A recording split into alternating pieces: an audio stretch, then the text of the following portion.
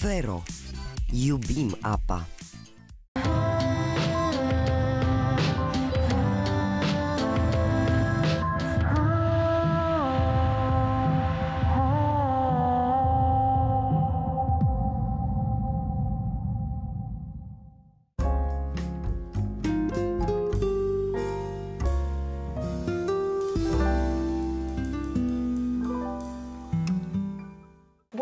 O nouă ediție Cine ești tu? Astăzi stăm de vorbă cu Liviu Mircea, cercetător la Observatorul Astronomic din Cluj-Napoca. Bine v-am găsit, domnule Mircea, mulțumim tare mult că ați acceptat invitația noastră. Să mâinile, bună ziua, bine v-am găsit. Pentru început, uh, vă întreb direct, cum e să lucrați zi de zi cu telescopul? Cum e munca dumneavoastră? E un mediu foarte interesant aici? Da, într-adevăr, um, este o profesiune aparte, cel puțin prin perspectiva pe care ne-o conferă lucrul cu distanțele aparent infinite ale cosmosului. Um, este o activitate interesantă, spuneam, și uh, din punct de vedere al faptului că uh, nu este atât de mult uh, nici mediatizată, dar nici foarte reprezentată în profilul profesiunilor, dacă mă pot exprima așa. Observatoare sunt puține în țară, din păcate. Cam câte? mai mari, mai mari sunt uh, cam trei, am putea să le spunem, și anume Observatorul din București, este Observatorul din Cluj, care are un statut oarecum mai privilegiat, având și o stație de observare în Feleacu, care este cea mai performantă stație ca, virgulă, condiții de astroclimat din țară. Uh, ar mai fi uh, Timișoara, da, pe lângă Cluj, Clujul având, uh, resubliniez, două puncte de observare, cel din Feleacu, deci la 8 km de aici, și respectiv acesta de aici. Uh, mai este de asemenea și observatorul din Galați, care în ultimul timp uh, are, prin cercetătorii de acolo, are rezultate foarte frumoase, dar consider eu că la o suprafață de 200, aproape 40 de mii de kilometri pătrați, observatoare să le numere pe o mână reprezintă un pic puțin. Uh, într-adevăr, uh, uh, e vorba aici și de, cum se spune în jargonul astronomilor, seeing respectiv condițiile de, de observații astronomice. Într-adevăr, România nu este o țară cu un cer deosebit sub aspectul stării de senin, în sensul că zonele cu nebulozitate și cu, cu situații de înnorare persistentă sunt destul de extinse. Uh, nopți senine, nopți senine, ideale pentru observații astronomice, cel puțin în interiorul arcului carpatic, nu știu dacă sunt ideale cam 30 pe an. Așa, deci ideale. Asta înseamnă cer curat de la începutul nopții până la sfârșitul ei. De aceea... Și în ce uh, perioadă? Vara mai mult? Depinde, depinde, depinde. Sunt, uh, acum, uh, clima s-a schimbat oarecum și, și condițiile meteo încep să fie un pic altele. De multe ori, februarie, de exemplu, este o lună mai interesantă sub aspectul uh, nopților senine. Nopțile de iarnă sunt cele mai căutate, deoarece uh, durata uh, întunericului este cea mai lungă, așa, în perioada decembrie februarie și atunci sigur că da, se pot face observații de ore, 7, 8, 9 ore continui la uh, anumite fenomene care reclamă o durată îndelungată de observare. De asta spuneam că probabil că, având în vedere că nu sunt nopțile din Chile sau nopțile din Canare sau uh, zilele acestea senine sau seninul acesta specific acestor zone și probabil că și din această cauză uh, investițiile oarecum nu s-ar justifica la amploarea Spaniei sau la amploarea statului Chile sau așa mai departe. Dar totuși, totuși, uh, un pic mai mult ar trebui să se investească, având în vedere interesul publicului larg, începând de la copii până la mm, vârsta a treia pentru acest domeniu. Și multă lume probabil nu știe cu ce vă ocupați concret. Ce face un cercetător? Da, acum... Nu vine ca la un birou obișnuit, asta e clar. Da, sigur că da. Vine ca la un birou obișnuit, asta, intervalul normal, scriptic, este 8-16, să zicem. Dar activitatea observațională se derulează, într-adevăr, se poate derula și în cadrul acestui interval, dacă e vorba de observații solare. Într-adevăr, facem și observații nu extraordinar de performante, ci în limita dotării pe care o avem la Soare, într-adevăr. Se observă, în general, evoluția activității solare. Fenomene mult mai profunde, sigur că dar nu avem dotarea specifică unui asemenea domeniu, care e domeniul de nișă, un domeniu mult mai îngust. Iar, sigur că da, observațiile stelare și observațiile satelitare, căci domeniile care în general sunt uh, uzitate la noi sunt uh, astrofizica stelară, deci studiul stelelor variabile, respectiv uh, astrodinamica, uh, foarte cuvinte, studiul uh, evoluției corpilor cerești artificiale pe bolta cerească. Și cum e programul dumneavoastră? De exemplu, astăzi, ce activități ați avut? Deci, uh, în prima perioadă, în prima perioadă avem uh, o activitate de pregătire pentru observațiile nocturne, iar în ideea în care cerul uh, se anunță conform prognozei, sigur că da, activitate observațională, începând de pe la ora 22.30 până probabil, probabil dacă se menține nivelul de senin, până la ora 5. Uh, cu Non-stop la da, da, da, da, asta pentru, pentru uh, observarea sateliților artificiali. Pentru, într-adevăr, dacă pentru observarea stelelor variabile, mai mult este folosită stația Academiei, stația de la Feleacu. Uh, stația observațională Feleacu aparține observatorului astronomic al Acad- filialei Cluj al, Acad- al Academiei Române. E o muncă grea și anevoioasă, cere multă concentrare? Uh, adică este o muncă grea, uh, având în vedere că ceasul biologic este un pic afectat, un pic răsturnat.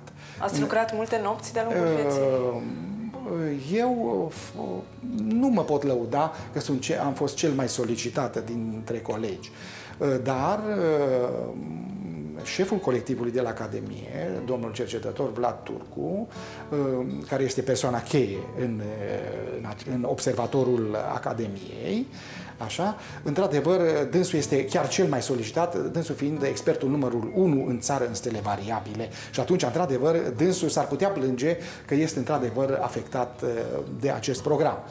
Dar în, în perioadele în care îl secondăm și noi, sigur că da, dar nu resimțim un efort deosebit, uh, cel puțin prin um, caracterul uh, foarte interesant al activității și mai, mai rar, mai puțin întâlnit așa. Deci e o pasiune, poate chiar o joacă. Absolut, absolut. Deci interesul pentru un asemenea domeniu este cel care face să anihileze orice efort resimțit. Și când v-ați descoperit pasiunea asta? A, păi, de cât timp uh, studiați cerul? Uh, nu de mult, adică de mult oarecum, având în vedere, e vorba de câteva zeci de ani. Dar uh, din liceu am fost pasionat de fizică. Uh, interesantă, astronomia... În Ați avut profesor bun de fizică? Da, pentru că da, majoritatea da, da, elevilor da, cam urăsc fizica. Într-adevăr, uh, am avut, am avut parte de profesor bun, era perioada cealaltă și, într-adevăr, uh, am avut, am avut profesori buni și devotați disciplinii și elevilor. Era chiar diriginte și pasiunea, deci fizica, adică am încercat să explic uh, anumite fenomene, nu numai fizice, în general prin uzul rațiunii. Dar care erau așa. curiozitățile dumneavoastră atunci? Ce uh, întrebări aveați? Da, uh, nu, nu foarte mult pe, virat pe astronomie, dar uh, legitățile care, care în general, uh, uh, fenomenele fizice care stau la baza acestei lumi în general, nu neapărat din punct de vedere astronomic. De asta m-am orientat uh, pe, spre fizică. Chiar dacă inițial uh, am urmat Politehnica. Uh, asta a fost acum de mult, acum 35 de ani. Și la sfârșitul anilor 80, la mijlocul anilor 80 mai precis, am vrut, să, am vrut totuși să-mi satisfac această pasiune și să urmeze această pasiune pentru fizică, neștiind că voi ajunge la un observator astronomic. Bineînțeles, contactul cu observatorul astronomic l-am luat în cadrul orelor de la teorie și seminarii de la Facultatea de Fizică a Universității Babeș-Bolyai. Oarecum fixat pe, pe sau virat pe domeniul astronomiei, totuși în cadrul Facultății de Fizică s-a produs acest lucru. De exemplu, la orele de electrodinamică și teoria relativității. Aici, astea, astea sub, sub bagheta domnului profesor Vasiu Mircea, un, un dascăl deosebit. Și aici, atunci, într-adevăr, s-a produs acest oarecum declic spre acest uh, domeniu. Și atunci, de atunci, asta înseamnă, acum vreo 30 și ceva de ani, uh, m-a, m-a determinat să tot să caut să ajung uh, în acest, în acest mediu, mai aparte. Vă plăcea să faceți și experimente da, în sigur, laborator, sigur, în sigur studenție că da, sau sigur când că erați da. în liceu? Sigur că da, da, îmi plăcea foarte mult. În studenție nu, nu lipseam de la ore, indiferent că erau curs, seminar sau laborator. Îmi plăceau foarte mult laboratoarele și până când eram chiar stresant pentru, pentru cadrele didactice, eram foarte insistent, în pauză totdeauna aveam întrebări și respectivele cadre didactice nici măcar nu puteau să-și tragă sufletul după o oră de stat la tablă. Eu, în, cum zicea Gheorghe Dinică într-un film celebru, în nemernicia mea, așa, uh, insistam și încercam să, să-mi lămuresc anumite chestiuni care nu le-am înțeles în cadrul expunerii respective de curs. Familia ce spunea despre pasiunea dumneavoastră? Uh, Vă încuraja? Da, da, sigur că da. Uh, acum, sigur, uh, eu la observator, aici o mică paranteză, am ajuns în 1992. Deja, sigur că da, familia era constituită. Uh, și absolut, uh, acum, chiar dacă lipseam nopți de acasă, nu am avut niciodată reproșuri pe linia asta, fiindcă era în fond o profesiune care o făceam cu mare interes și plăcere și o mai fac, sigur că da, chiar dacă ne lovim de fel de fel de greutăți, dar fiecare în domeniul său nu există să aibă un teren plan și lipsit de asperități. Nici viața nu e lineară. Și nici viața nu este un șnur întins. Și mai povestiți-ne cum ați ajuns efectiv să desfășurați munca de cercetător, experiențe da, da, mai interesante da. și pozitive și negative. Da. Acum, ă, ce, ce este foarte important, cum vă spuneam înaintea începerii înregistrării, ă, trebuie să fiu onest și să remarc, nu sunt eu cel mai reprezentativ ă, personaj de aici.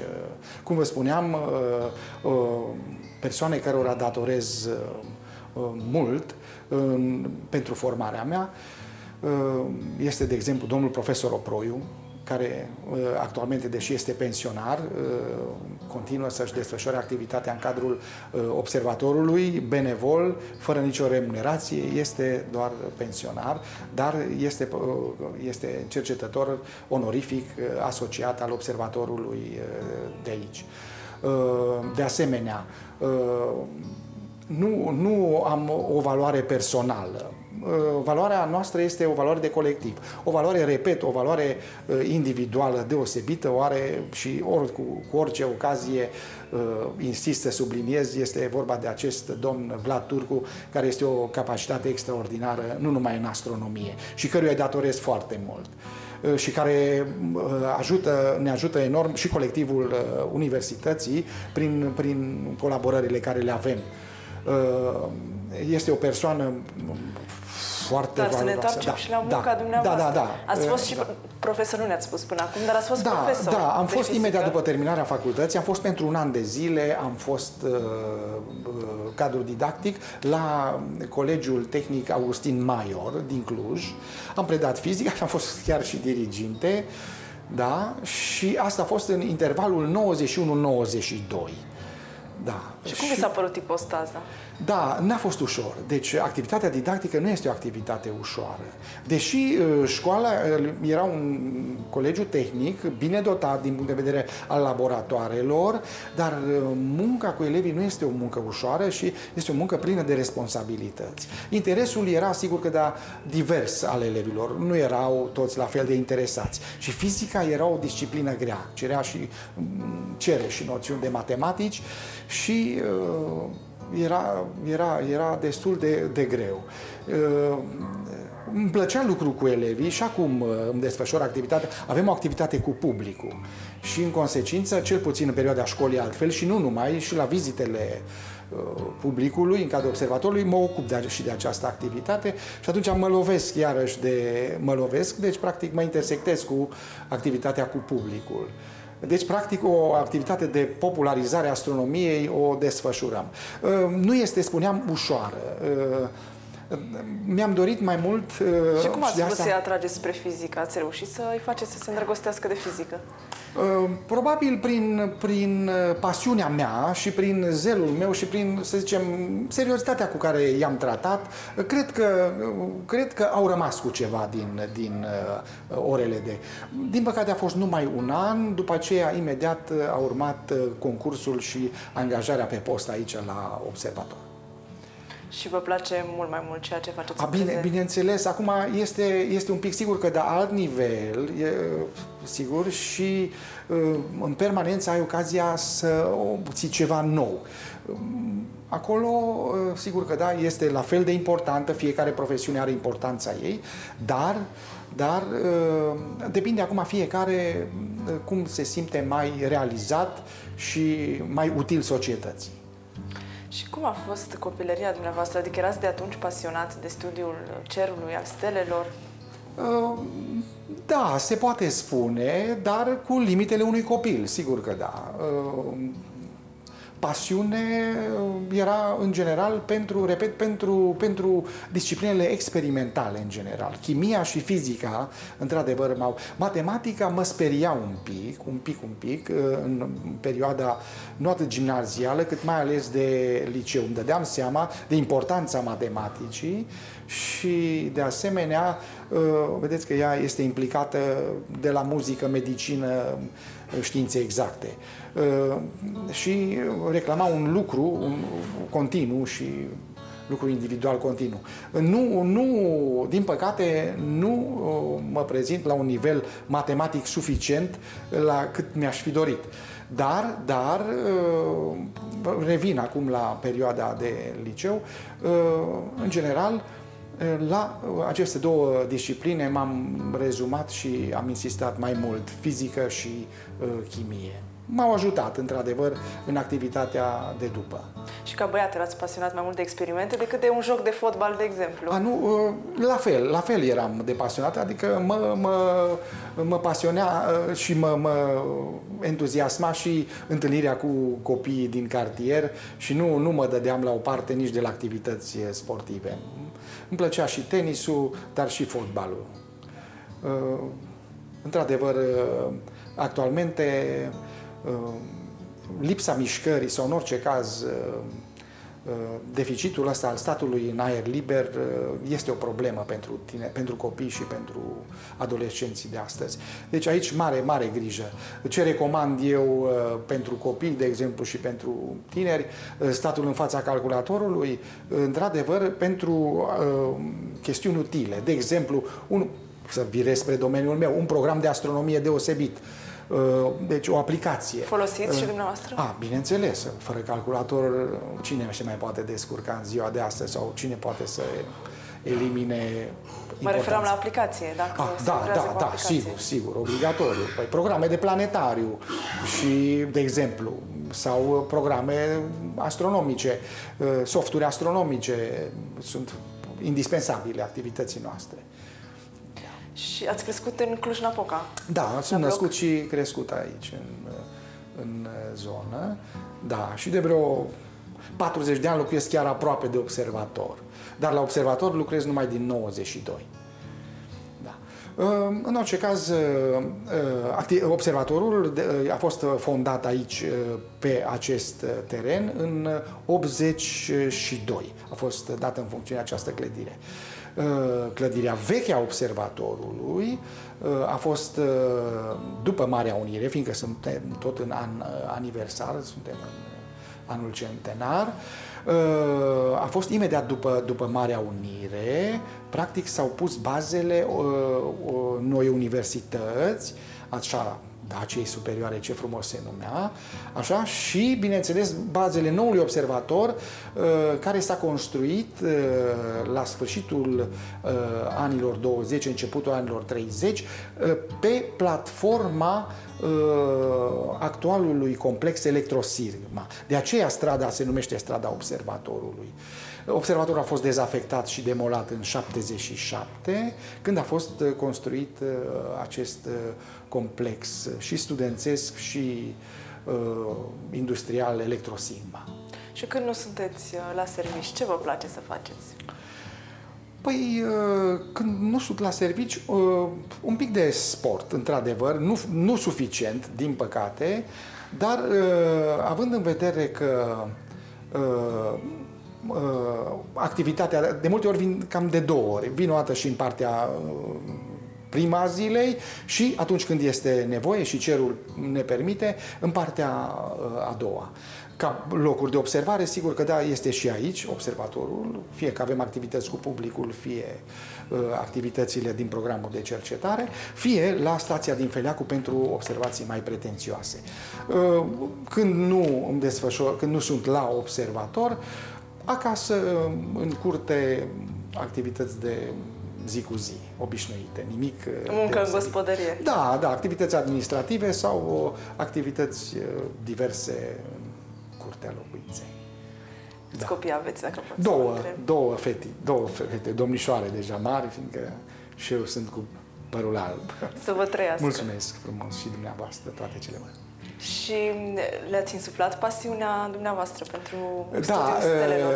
Da, interesant cum, cum se întâmplă, nimeni nu-i profet în țara lui, așa, nu, adică plăcerea de a veni la observator au avut-o, dar nu pentru științele exacte.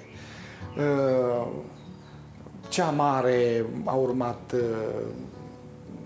studiul științelor economice, cea mică a început cu geografia, așa, și a virat ulterior spre Facultatea de Studii Europene.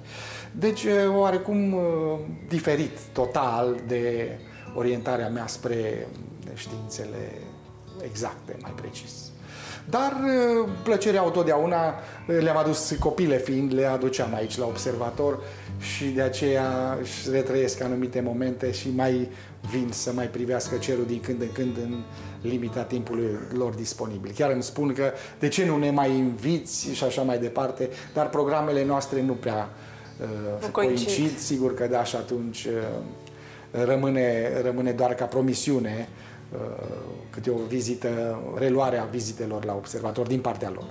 Aici se face și o școală de vară pentru copii? Au fost niște episoade de școală de vară în uh, dacă nu mă înșel, uh, cam în trei ani consecutivi, 2012, 2013, 2014, au fost, uh, au fost trei, în trei ani la rând niște cursuri intensive de, de astronomie și astrofizică și științe spațiale așa, ă, ținute de cadrele didactice de la Facultatea de Matematică și cercetătorii de la Observatorul Astronomic al ă, Universității.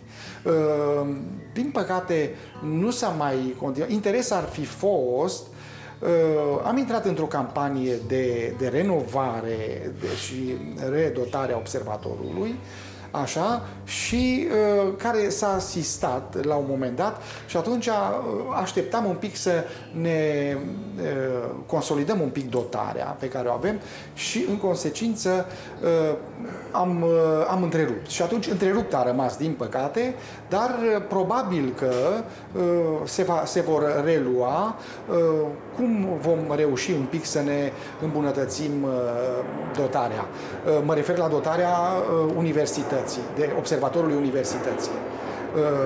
Observatorul Academiei a progresat un pic altfel din punct de vedere al dotării, prin investițiile care s-au făcut, dar grație unor contracte.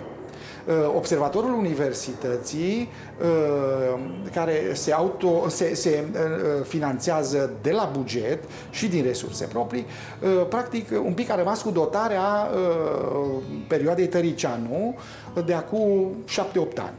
Da, apropo, dumneavoastră ați fost și în străinătate, să vedeți cum arată N-am umblat mult, de da, observare. da, n-am umblat mult spre rușinea mea, deși invitații au fost. Avem o colaborare foarte strânsă cu observatorul uh, de la Boia din Ungaria. De asemenea, uh, cu observatorul din Munții Rodop din uh, Bulgaria. De asemenea, cu observatorul din Belgrad, așa deci chiar cu observatoarele apropiate. De asemenea... Ce v-a plăcut cel mai mult la ei? Ce ați dori să puteți implementa dumneavoastră da, în țară? Da. Păi, în primul rând, un lucru interesant. Mișcarea de amatori, acum, în paranteză fie spus, ia amploare și la noi. În sensul că și amatorii încep să aibă instrumente destul de bune. Ce adică înseamnă... oricine e pasionat de astronomie? Oricine e pasionat de astronomie este legat, este legat de un instrument. Și un instrument bunicel începe de la 7-800 de euro în sus, care nu este o investiție chiar ultra accesibilă. În consecință, ă, spuneam că mișcarea de amatori începe să ia avânt un pic și la noi. De fapt, asta este baza de selecție oarecum pentru viitorii astronomi profesioniști.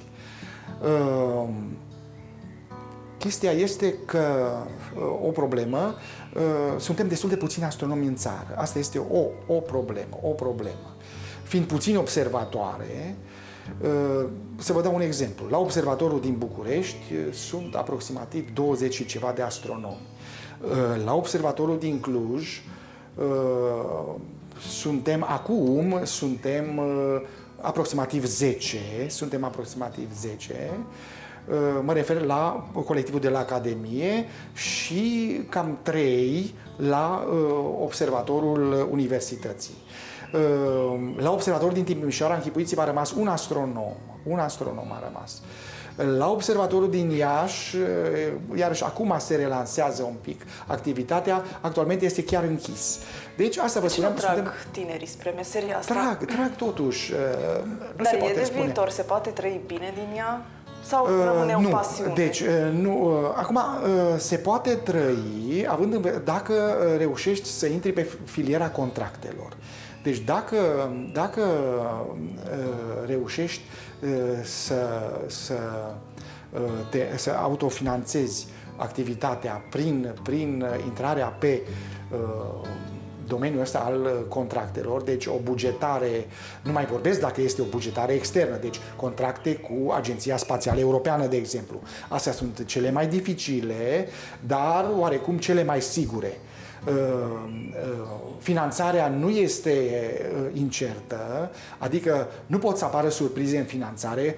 Suma contractată inițial într-un grant ESA este o sumă bătută în cuie. Sumele care sunt bugetate grație unui contract intern pot fi afectate de anumite probleme financiare interne. Și atunci, uh, dar, dar uh, acestea sunt oarecum mai accesibile, oarecum mai accesibile, uh, dar mai, un pic mai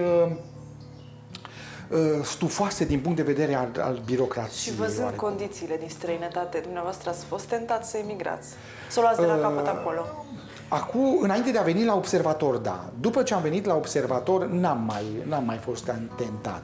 N-am mai fost tentat uh, de acest aspect.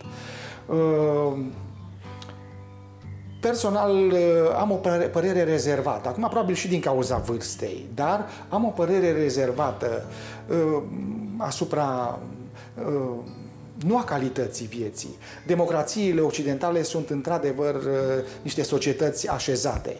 Ehm, dar ehm, nici, nici ehm, viața afară a a început să nu mai fie atât de, de sigură și de, să zicem, elegantă sub aspectul facilității. Deci sunt destule probleme vedeți, numai, numai problema asta, nu vreau să virez în tărâm politic, dar problema asta migrației. Deci asta, să știți că, nu știu, mi-a lăsat un gust așa și pentru zona franceză, și pentru zona italiană și uh, acum colaborările astea trebuie să existe și există, indiscutabil. câte limbi vorbiți? Păi, uh, acceptabil, vorbesc trei, acceptabil. Pe, uh, bine, acum nu mai pun româna, încă două, deci maghiara și engleza. Uh, insuficient, mă descurc și în limba franceză, în sensul că înțeles. Da. Dar maghiara și engleza, la nivel de comunicație, acceptabilă. Și ați investit în echipament personal astronomic? Adică uh, poate telescoape de mai mici dimensiuni, da, bineînțeles, la început, da, cu care da, să mergeți da, pe da, deal, să urmăriți da, cerul. sigur că asta în primă fază, când eram mai tânăr, uh, sigur că la începutul activității, uh, dar după aceea, sigur că da, investind observatorul, nu am mai uh, investit în această direcție, mai ales că un instrument de 10 cm, să zicem, anvergură, este un instrument relativ mic și este destul de scump. Totuși, Uh, nu, nu, n-am, n-am uh, găsit uh, de cuvință să, să completez dotarea, mai ales că nu, nu pot să concurez la prețurile pe care le are un instrument astronomic. Deci, și asta îi sfătuiesc și pe cei care vor să-și cumpere un instrument, să aibă grijă ce achiziționează, fiindcă poate să intervină, să zicem, saturația din punct de vedere al performanțelor instrumentului și atunci, practic, investiția rămâne și banii rămân dați. Uh, mai ales că și instrumentele pe care le avem sunt destul de limitate ca performanțe și atunci, cu atât mai mult un instrument mai mic este mai, mai lacunar. Dar ați obișnuit să mergeți cu binoclul în Da, natură. sigur, sigur, sigur că da. Păi, de exemplu, când uh, suntem în anumite campanii de drumeție, de exemplu, sau la observatorul celălalt din Feleac, un binoclu, mai ales un binoclu cum avem noi de 10 cm deschiderea, este mai ales pentru uh, observarea roiurilor meteorice, uh, ploilor de stele, cum se spune, în termeni uh, uzuali. Vă puneți dorințe când au loc ploi de stele? Nu mai îmi pun dorințe, sigur că da. Adică așa ca să respect o tradiție, uneori da, așa ca să le fac pe plac celor din anturaj. Uh, dar, sigur că da, speranța moare ultima, asta e Dar credeți că până acum v-ați împlinit cele mai importante vise? Sau dorințe? Da, acum, având în vedere și faptul că minusurile mele din punct de vedere profesional, să zicem, era loc și de mai bine, deci din punct de vedere al atitudinii mele vreau să spun, așa, dar pot să spun, pot să spun că în unele privințe sunt relativ mulțumit. Loc de mai bine este și, și de aici încolo. Dar uh, totdeauna este, este loc mult, mult, mult mai mult pentru mai bine. Și am și o curiozitate. Ați da. fost martor la fenomene astronomice neobișnuite sau care nu se vor mai repeta? Uh, la fenomene uh, astronomice irepetabile nu am fost uh, nu am fost martor. Odată ceva mi s-a părut mai deosebit. Uh, eram cu un grup uh, de studenți la un laborator și uh, urmăream suprafața lunii. Și ce, ce mi s-a părut mai deosebit și nici n-am mai văzut de atunci, asta a fost acum vreo 15 ani, uh, niște scintilații foarte interesante, nici acum nu pot să mi le explic ce probleme de reflexie deosebit au fost. Asta referitor la cel mai banal și mai accesibil uh, corp ceresc uh, natural, luna. Uh, în rest, bineînțeles, am fost martor la eclipse, la trecerea ale planetelor interioare, la Mercur, Mercur și Venus peste discul Soarelui. Uh, sigur că da, la apariția unor bolizi pe, pe bolta cerească. Uh, adică ce să explicăm da, pe înțelesul da, tuturor? Da, sunt corpuri meteorice, adică fragmente cometare care ard uh, în atmosfera terestră prin frecarea cu aceasta. Se pot vedea de aproape de la telescop? Uh, urmărirea în telescop este aproape imposibilă, deoarece mișcarea, mobilitatea lor pe suprafața cerească este foarte mare, deci descriu zeci de grade pe boltă cerească și atunci, practic, iasă foarte rapid din câmpul instrumentului. De aceea, practic, ele cu un binoclu se pot, deci cu instrumente de câmp larg, cu alte cuvinte, care acoperă o suprafață întinsă de cer, pot fi observate. Dar prin telescoape care să le și apropie, în general scapă foarte rapid din câmpul de observație. OZN ați văzut vreodată? Credeți în extraterestri? Uh, OZN, sincer, obiecte zburătoare neidentificate, nu, nu am, uh, n-am avut uh, plăcerea să, să observăm. Uh, au fost niște fenomene uh, astronomice interesante, de exemplu, cum a fost experimentul uh, rusesc din februarie, uh, experimentul balistic, care a generat o ciupercă interesantă pe cer și inițial multă lume, chiar dintre cei avizați, n-au știut despre ce este vorba. Dar un cercetător crede în extraterestri până la urmă? Uh, având în vedere, va, uh, eu personal, inițial nu credeam, să știți, adică uh, nu credeam uh, în ce sens, credeam în rolul privilegiat al omului uh, în univers. Într-adevăr are un rol privilegiat. Adică credeați că noi suntem singuri? Uh, credeam, credeam, da, într-adevăr. Dar, dar, totuși, totuși, uh, maturizându-mă un pic, uh, am ajuns la concluzia că motivul pentru care, practic, nu a, sau în orice caz, umanității nu este dat deocamdată, sau în orice caz, incidența acestui fenomen, deci uh, întâlniri de gradul 3, este foarte rară, uh, este datorită distanțelor uriașe care ne separă. Acum, dacă tot ați adus în discuție, uh, pentru a intersecta, pentru a ne intersecta cu o civilizație extraterestră, cu alte cuvinte, sau pentru a fi vizitați, ar fi foarte important să putem ajunge într-o zonă unde ar domina o stea de tip solar, respectiv și aceasta să dețină un sistem planetar uh, de tip terestru. Uh, asemenea, asemenea oportunități există undeva uh, dincolo de 50 de ani lumină de, de sistemul solar. 50 de ani lumină reprezintă dimensiuni extraordinare,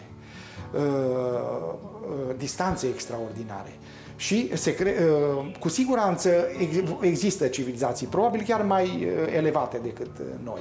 Dar asemenea distanțe, practic, în condiții obișnuite, nu, nu pot fi atinse, nu pot fi acoperite. Ce ați fi dorit să vedeți până acum pe cer și nu ați reușit? Uh, da. Uh, sigur, sigur că da. Uh, mi-aș fi dorit, într-adevăr, să, să pot să fiu martor la o întâlnire de asemenea grad, 3, așa, fiindcă am ajuns, cum spuneam, să cred în existența unor uh, asemenea uh, fenomene. Uh, ce mi-aș dori? Mi-aș dori tare mult să fiu martor, așa cum am fost martor acum aproape 50 de ani, în 1969, când tatăl meu m-a trezit la ora 2-3 noaptea ca să văd uh, emisiunea venerabilului Andrei Bacalu, transmisiunea aselenizării uh, misiunii Apollo. Mi-aș dori ca în anii 30 să apuc anii 30 și vă doresc și dumneavoastră să nu scăpați evenimentul, uh, să asistăm la primii pași ai omului pe Marte. Asta ar fi, asta mi-aș dori tare mult să... Dar știți că sunt uh, și teorii ale conspirației, cum se zice, cu privire la asenelizare, că de fapt totul ar fi fost o scenare într-un da, studio. Da, nu, nu, nu. Eu sunt convins că americanii au pus piciorul pe lună, îi desfințau rușii dacă îi aveau la mână cu un asemenea trup. Deci dacă uh, misiunea ar fi fost uh, trucată, uh, cu siguranță, uh, datorită războiului rece și datorită disputei Uh, asupra întâietății uh, anumitor uh, descoperiri și alte realizări în acest, altor realizări în acest domeniu, cu siguranță spațiul sovietic ar fi, ar fi adus dovezi Se spune că nu da. au putut să treacă de centura de radiație. Ba, da, nu, deci s-a putut, n-a fost, n-a fost uh, problemă. Și misiunea, uh, misiunea Apollo 13, care într-adevăr a fost cu mari probleme și aceea a fost aproape de a uh, realiza selenizarea. Unii susțin că uh, transmisiunea n-ar fi fost live, fiindcă ar fi fost foarte dificil de realizat uh, și că au fost foarte expuși astronauții în acele momente ale primei aselenizări, ale, ale lui Neil Armstrong și Michael Col, uh, Edwin Aldrin, pardon. Michael Collins rămăsese undeva pe orbită circumlunară uh, și că a fost reconstituită toată transmisiunea în studio. Am auzit și versiunea, asta este o altă versiune. Nu numai că ar fi fost filmat totul într-un deșert american. Uh, nu, sunt convins, sunt convins, fiindcă altfel i-ar fi contestat până în pânzele albe rușii. Altfel uh, s-au recunoscut învinși în întâietatea aceasta a selenizării și cu siguranță fiți liniștiți că au coborât. Acum nu se mai pune problema cine va avea întâietate, fiindcă va fi o misiune internațională, misiunea ProMarte. Ca cercetător, v-a răspuns până acum știința la toate întrebările pe care le-ați avut, personale, profesionale? Ați găsit o explicație la fiecare dilemă? De asta am urmat fizica, vroiam să încerc să-mi explic fiecare fenomen prin uzul rațiunii. Sigur că da, foarte multe, foarte multe. De exemplu, domeniul găurilor negre, care este un domeniu pe, de care sunt uh, întrebat de, de copii până, uh, vă spuneam, la vârstele cele mai mature. E un domeniu care, uh, recunosc, nu-l stăpânesc, un domeniu extraordinar de, de dificil. Uh, de asemenea, uh, posibilitatea acoperirii distanțelor în spațiu, călătoririi spre uh, uh, stele cele mai apropiate care ar putea uh, întreține viața sau sisteme planetare de tip terestru. De asemenea, iarăși nu pot să-mi explic cum, uh, deocamdată, ce uh, secrete și ce, ce posibilități uh, va avea umanitatea în a acoperi asemenea distanțe. Mă refer la, de exemplu, acele scurtături, să mă exprim, shortcut-uri, gen găuri de vierme. Sunt foarte, foarte multe abstracțiuni din acestea astrofizice, matematice, căci de fapt totul se rezumă, sau în orice caz, esența lucrurilor este matematica. Și dumneavoastră aveți frici? De exemplu, ați fi călătorit în spațiu dacă aveați ocazia? Să știți că este o problemă, nu oricine poate să călătorească într-o nacelă de, să zicem, 10 metri cubi, așa. De exemplu, călătoria până la lună durează două săptămâni. Călătoria până la Marte șase luni. Închipuiți-vă să, călătoriți într-un spațiu limitat șase luni. Cred că mental, psihic n-aș rezista.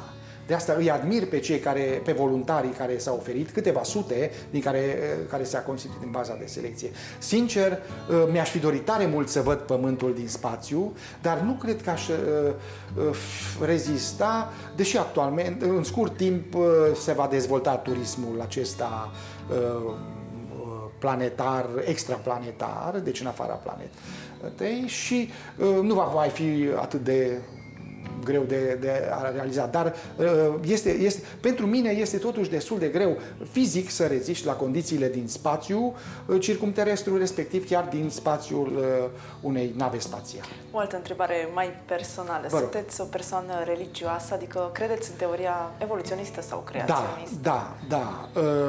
Nu sunt atât de creștin precum ar trebui să fie. Recunosc că sunt un păcătos, așa, dar cred în existența unui creator, cred în existența lui Dumnezeu. Un, cred într-un evoluționism controlat, deci omul a ajuns la nivelul la care este grație unui evoluționism controlat de creator. De asemenea, cred într-un univers creat, nu un univers care a ajuns în stadiul în care este și tinde spre ceva, grație uh, evoluției unei stări de haos sau din haos. Și cum ați ajuns să fiți adeptul acestei teorii? Ați studiat dumneavoastră? V-a Am studiat cineva? și eu. M-a, m-a și, m-au și inspirat uh, preoți cu care am ajuns și care au avut o deschidere extraordinară pentru astronomie. Uh, și de asemenea perfecțiunea asta microcosmosului uman, precum și a macrocosmosului care ne înconjoară care nu, poate să, nu pot să fie roadele unei evoluții uh, simple, banale, uh, haotice. ci ceva programat minuțios.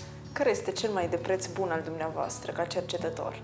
Ce v-a adus până acum cea mai mare bucurie, satisfacție, când priviți în urmă? Uh, păi, în primul rând, uh, colegii pe care, deci cel mai important bun uh, vis-a-vis de observatorul astronomic și în viața realizările în, a, în viața personală. Sigur că da, e familia, faptul că mi-au uh, îngăduit atâta timp să, uneori să chiar să fiu absent de acasă. Uh, deci, pe de o parte familia, pe de altă parte colegii și instituția.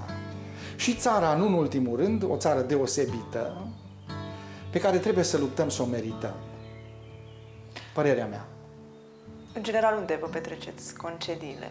Pentru că ați menționat țara în țară da, sau Da, mai mult în țară, recunosc, mai mult în țară. Mai mult în țară și și așa nu o cunosc uh, suficient. Și aveți și un loc favorit? Uh, în general, uh, și muntele, dar și marea. Da, nu, nu pot să spun. Marea îmi place enorm, așa, probabil că se apropie cel mai mult de... Dar și muntele, și el este aproape de, de cer. Da, ambele sunt uh, oarecum niște extreme, dar uh, atât de aproape totuși și frumoase. Și ce anume, ce sfat ați da unui tânăr care ar vrea să se apuce de astronomie? Ce i-ați spune? Da. Uh, să, să învețe, să, să nu spun și eu, de, să nu citesc de trei ori un uh, înaintaș, așa, uh, deci, în primul rând, să pună mare accent pe pregătirea personală. Dar nu e ca în filme meseria, nu? Uh, uneori bate filmul, da, ca așa cum se întâmplă. Uh, da, uh, și să nu, uh, să, să ignore aparent aspectul material, fiindcă nu, nu-i va da satisfacție în primă fază, dar, repet, oportunități există enorme. Acum, de a-și completa și Uh, prin deplasări, prin burse, prin fel de fel de proiecte, există posibilitatea. E altă situație ca la începutul anilor 90, când am intrat eu în uh, observator. Recomandați filme SF? Vă uitați la filme SF? Da, sigur că da. Uh, filmele de anticipație, să știți că sunt, sunt niște trambuline pentru, și pentru mintea umană, dar și pentru cercetarea științifică chiar. De exemplu, marele vizionar Arthur Clarke, de exemplu, uh, uh, prin, prin, prin tot ceea ce a gândit, practic uh, a fost, a fost un precursor al, al multor realizări din domeniul astronomiei și astrodinamicii, de exemplu. Deci, cu alte cuvinte, SF, deci, știu, deci domeniul științifico-fantastic este, este foarte util și, într-adevăr, multe aspecte se pot regăsi mai, prin, în realizările de mai târziu, în literatura de, de anticipație. Domnule Mircea, ultima întrebare, pentru că timpul a Vă trecut rog. foarte repede. Chiar foarte repede. Ce înseamnă fericirea pentru dumneavoastră? Fericirea, uh, da, este un lucru foarte complex. Uh, uh, un om, într-adevăr, se poate declara fericit dacă uh, se poate bucura cu puțin. Uh, dacă uh, asta nu înseamnă să, să fim, să ne mulțumim cu puțin în sensul de a face cât mai puțin, dar să, să nu fim egoiști, așa, deci asta, și asta e o formă de a reuși să ajungi la, la fericire Uh, și, uh, repet, uh, să te știi mulțumi în general cu, cu puțin și să dai și celor din jur din ceea ce cunoști, din ceea ce știi. Și asta este o formă de fericire, să ai bucuria asta de a împărtăși și celorlalți, din ceea ce ai acumulat, din harul care ți-a fost dat, să ai o anumită afinitate spre un anumit domeniu, să împărtășești și altora, indiferent de vârstă și ocupație. Mulțumim încă o dată cu deosebită pentru prezență. plăcere. Vă mai așteptăm și cu alte Și eu pentru vizită, cu, cu dragă Doamnelor și domnilor, mulțumim pentru atenție. Rămâneți cu Ensieni.